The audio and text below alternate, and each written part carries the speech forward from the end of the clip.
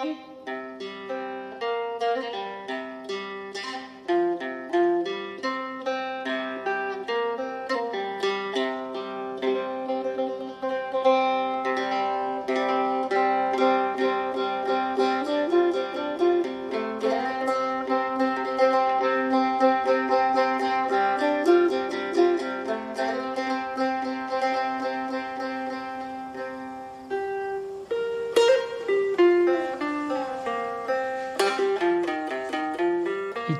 九二年的暑假，哎，就在想说，那如果是我来写自己的母语创作的话，应该怎么写？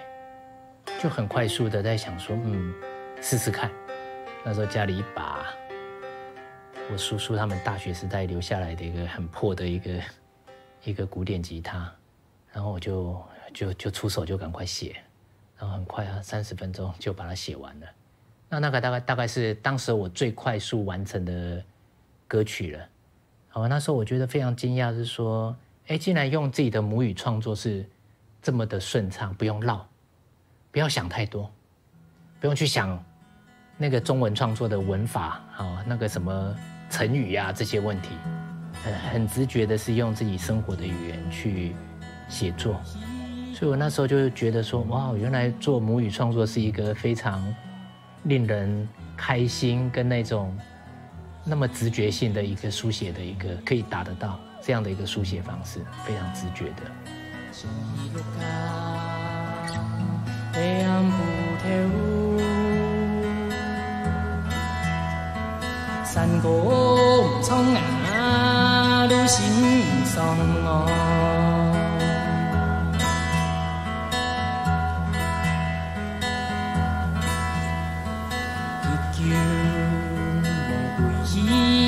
天生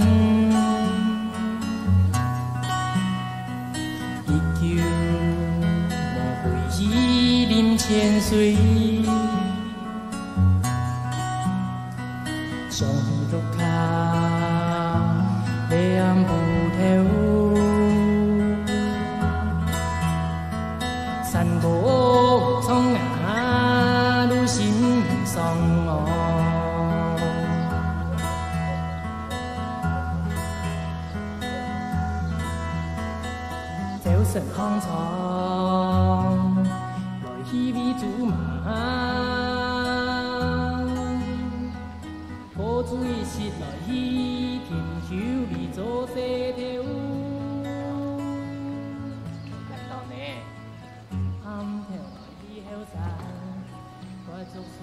以前永丰的那个永丰的音响间，就是在那个这个进去右边第一间，哎，永丰的音响间。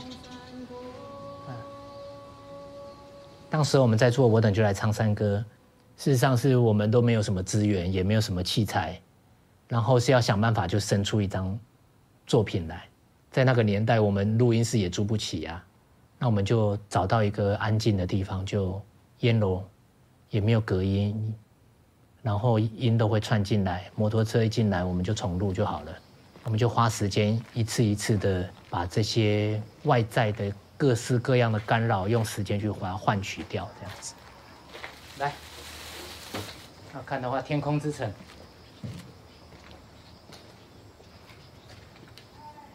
应该最怀念还是这里啊？最怀念还是这里？哎，也无所谓啦，就是反正就以前曾经在这边工作过，哎。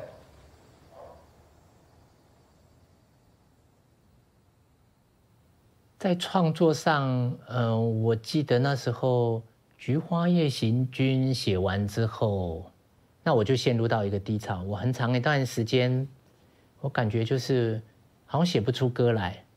它可能来自几个方面，一个是创作的啊，然后一个是呃乐团本身的，并不是说我在乐器上那些和声我不会，不，并不是说我完完全忘了那些呃那些音阶啊。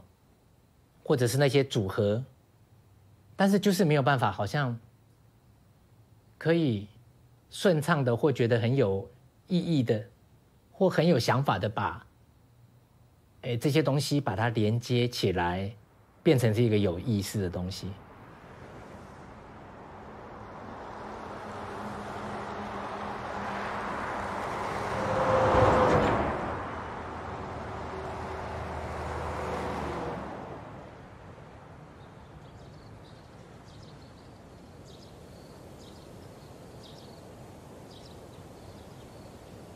讲国内大发，国内大花，可能就是差不多在这个季节，它就开花了啊。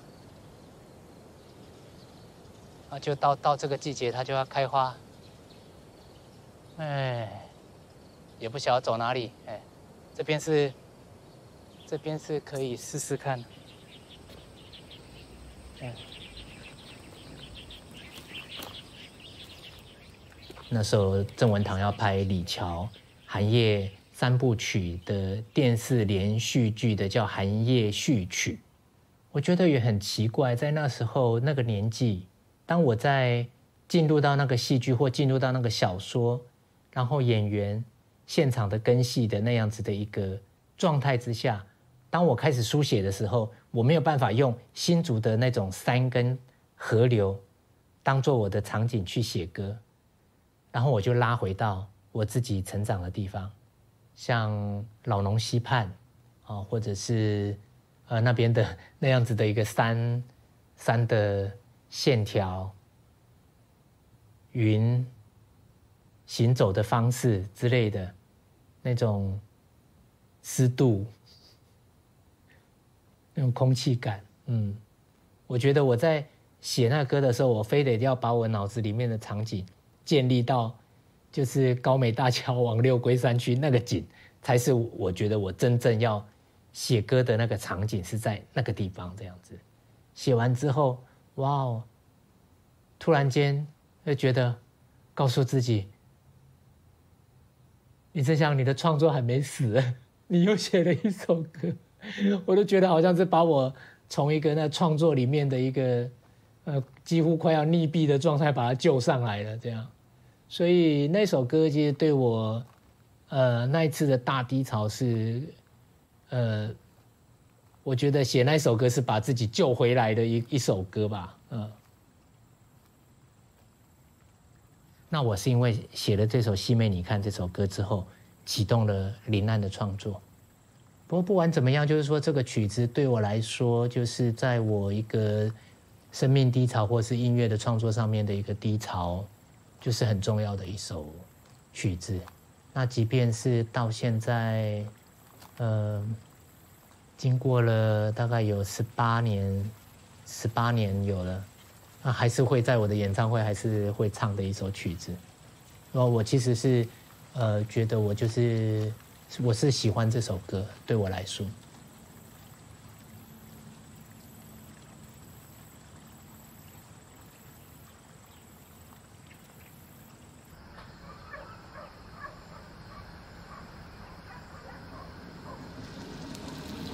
对面不来。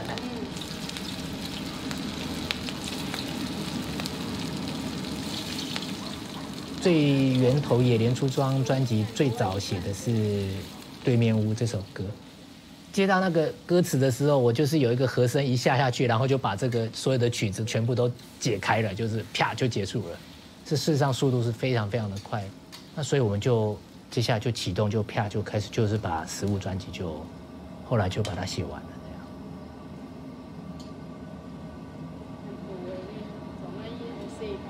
唔係唔係，一一串喺吃的係都幾好呢，一兩串呢，吃的係都幾好，好唔好？好的哈，好，这个其实拿来可以剪菜的，其实刚煎起来是最好吃的，你们去洗手，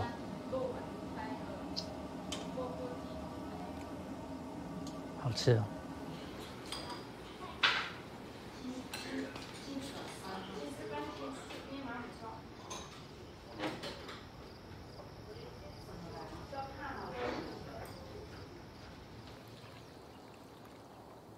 那野莲出庄，它是在谈到的是整个台湾的农村缺工啊，这是全台湾的问题。嘿，野莲出庄这个曲子，事实上我觉得对我来讲，就是连接到《菊花夜行军》，然后连接到《日久他乡是故乡》，呃，《阿城下南洋》这些曲子啊，从开始台湾跟这些外配。这样子的一个题材，然后到现在延伸到这些外配的，包括他的家族在台湾变成是其中一个劳动力的可能性啊。经过了这二十年来，应该超过二十年的时间。当然，这里面也很多很多的故事啊，也连田旁边这样上演的。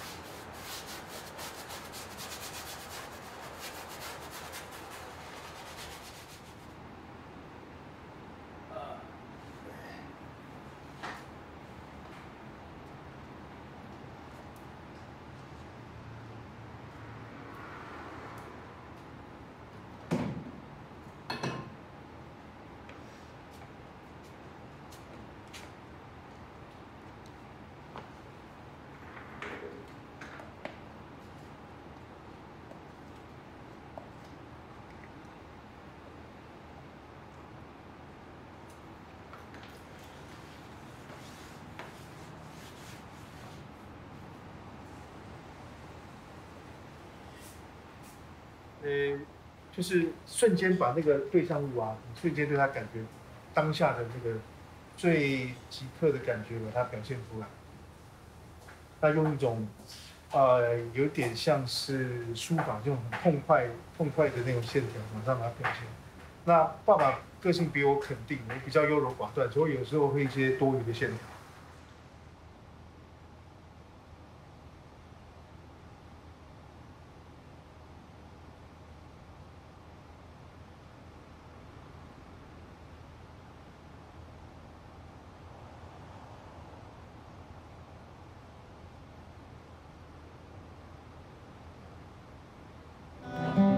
看这个很好听，就听，这其实不难，就是你外外，这这很基础的，外内外内，你看，这第一下是一起弹，你看。别娶某，别娶某，娶到一个小查某。会唱的一起唱。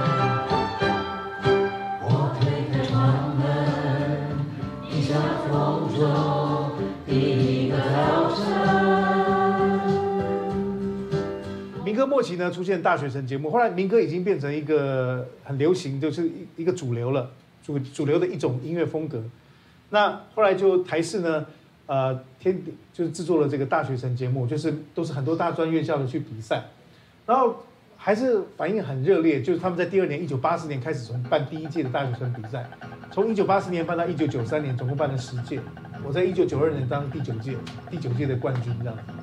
那年我拿到最佳作曲、最佳演唱，然后拿到第一名，这样。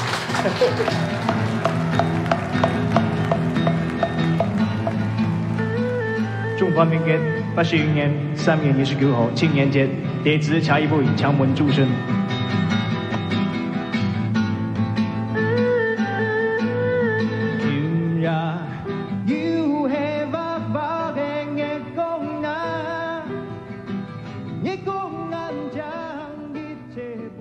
歌是我写的第一首客家歌，那个时代背景在，应该是在一九九零、一九九一的时候发表，是呃得得奖是一九九二年，但创作我记得应该是一九九一年、一九九一年创作的。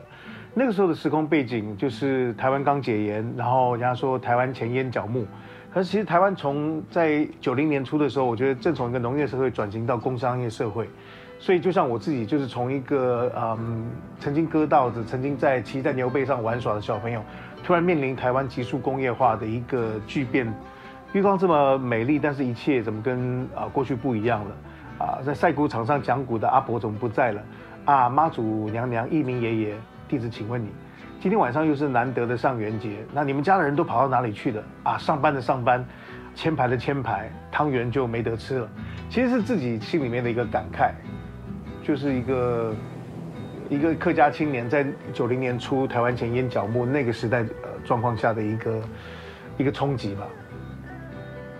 我那时候也并不知道是山歌的吟唱，我我只是觉得好像把小时候的听到山歌，把它融汇进自己的灵魂里面。我觉得应该是有把山歌的唱腔跟摇滚乐结合在一起。其实老实说，山歌那种嗯奔放的呐喊跟。摇滚的唱腔其实是某种心灵的状态，是一种一样的东西。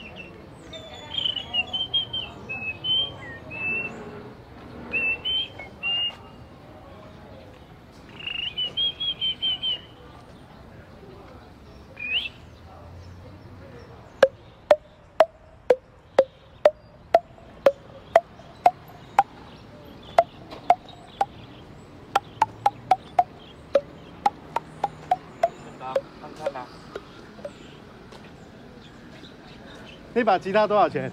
两百块而已。哎，好厉害哦，好听哎。没有，还没有，没有关掉。你也可以啊。哦。哦。要买回去整理。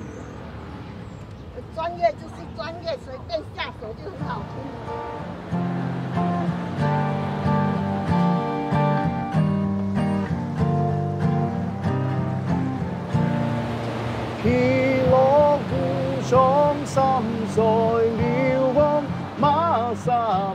写那首歌的时候，就觉得啊，退伍回来四五年了，然后，哎，奇怪啊，我画画也画的不错，跟那么多大师学过画，一生的记忆啊，我可以去教画，可是没有学校能够教，我只能去私立的私人画室去教课。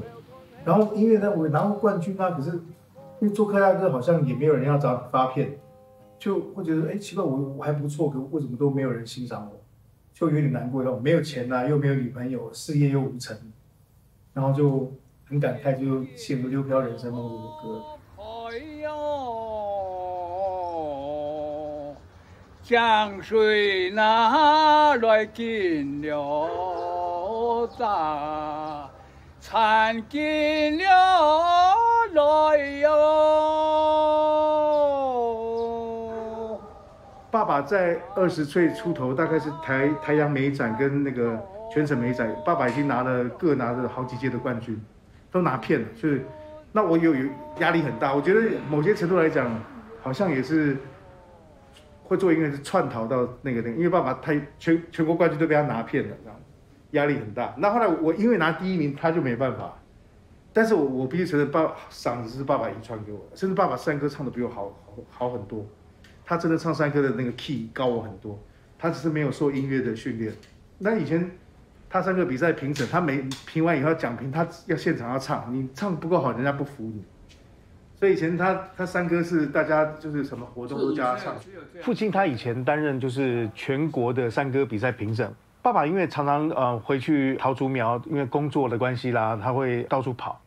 然后每次回客家庄呢，看到新出版的一些客家的山歌专辑，都会买回来。画画啦，看书的时候啊，他都会放。就有一天呢，他从竹东回来吧，就带了一个夹式的录音带。我听哇，怎么有摇滚的客家歌曲？吓一跳，怎么那么好听啊？完全就是全新的啊、听觉经验，我就非常的开心哇！原来客家歌也可以写的这么流行，然后这么摇滚，就心里面非常开心。那后来嗯，也在电视上看到他吴胜志先生跑电视的宣传。在民国六十年代，你知道吗？一个拿着电吉他、留长头发、留八字胡，他是一个非常完全非常突兀的形象，就是你在唱片里面看到的 Eagles 那些西洋的 rocker，就他有一个 rocker 是唱客家歌。那我就身为一个在都会长大的客家年轻人，我觉得之前呃除了吴胜之之外，客家好像没有呃让他歌曲更现代化的一个创作者出现。那我就一直希望呃客家音乐也可以更现代化一点，因为相较于呃国语流行歌跟闽南语流流行歌曲，它其实客家音乐发展的比较晚。像吴胜志的那张一九八一年才出版，是一张石破天惊的专辑。然而在相对闽南语的流行歌跟国语，在一九四零年代已经发展的蛮蓬勃的。所以我就希望说，嗯、在短短的时间能够呃赶上闽南语歌曲跟国语流行歌曲。让这个客家的现代歌曲可以跟这个呃，比方说西洋流行音乐或者国语流行歌曲并驾齐驱，呃，编曲一样的新颖，就是讲出我们这个时代客家、呃客家客家人的心情这样。尽头，风尘流浪历经沧桑，当初面有梦是梦，小看后生梦，何情破万重，强不可。望江为理想，难打破。呀，藏的我，又飘千帆